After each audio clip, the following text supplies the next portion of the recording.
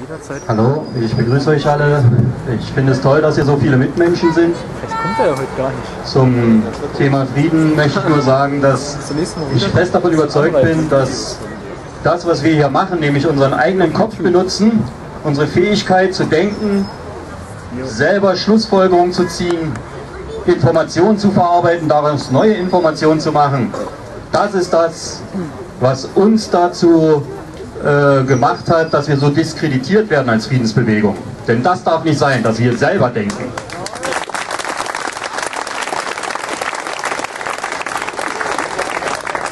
Ich bin Luft- und Raumfahrttechniker und habe Flugzeuge repariert und so weiter.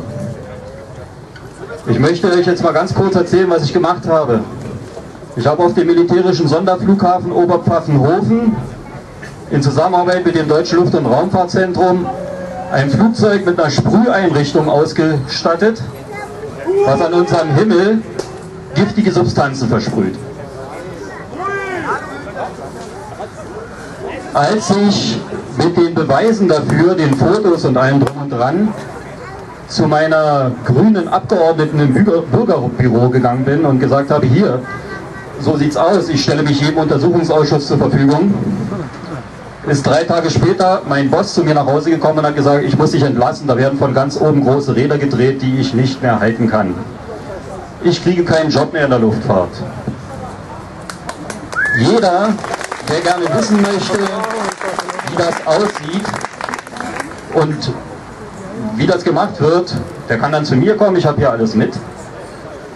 Ich möchte dazu nur sagen, als wir fertig waren mit dem Umbau dieses Fliegers, also wir haben den innen entkernt, haben die ganzen Tanks eingebaut, haben die Leitung gelegt, haben diese Sprüheinrichtung äh, installiert, da wurde uns gesagt, ich war ja Zivilangestellter äh, unter Kontrolle des Militärs, dass das Deutsche Luft- und Raumfahrtzentrum das praktisch als Test macht, ja, der Flieger fliegt vorne weg, dann fliegt denen ihr Partikelmessflugzeug hinterher und misst Partikeldichte, Ausbringungsparameter und so weiter und so weiter. Die wollen ja schließlich wissen, wie sich das verbreitet.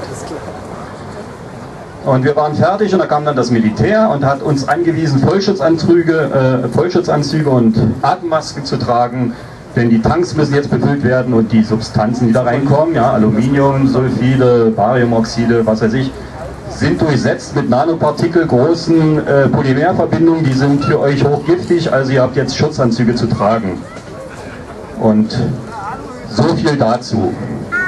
Also ich wollte nur sagen, wir fliegen in eine ökologische Katastrophe und jeder, der das nicht begreifen will, den kann ich gerne die Beweise zeigen und ich stelle mich jedem Untersuchungsausschuss zur Verfügung.